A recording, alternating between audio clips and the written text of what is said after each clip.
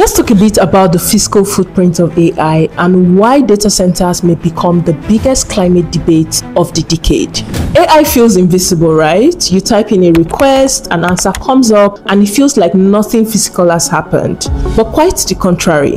Behind every chatbot request is a real machine consuming energy, consuming water, and affecting the climate in ways that we never really see physically. How big is the data center conversation? One of the biggest data centers in the world, the Switch Citadel campus in Nevada, spans 7.2 million square feet.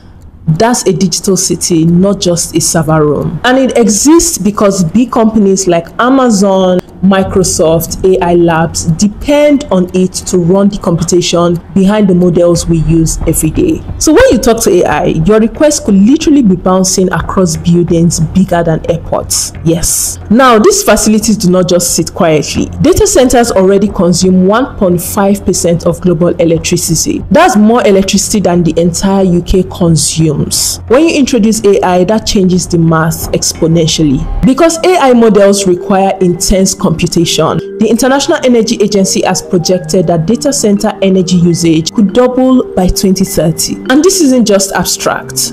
Big organizations like Microsoft, Google, Amazon, and other AI players are signing massive power agreements that are actively reshaping local and national energy grids. And in some regions, AI data centers are now the largest, fastest growing source of electricity demand. And it's not just electricity, it's also water.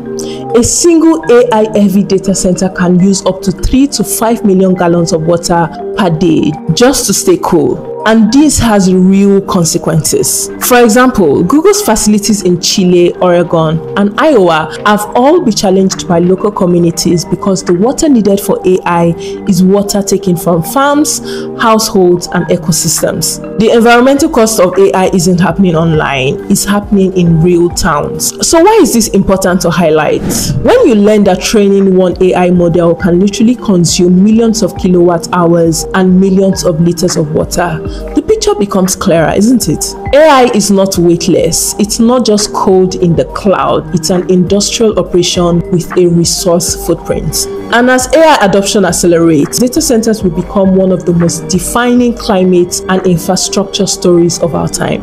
Understanding who owns them, how big they are, and how much they consume isn't trivial. It's the first step in asking the real questions. Can AI evolve without deepening the environmental crisis? Or will we need to rethink how intelligence is powered? Food for thought.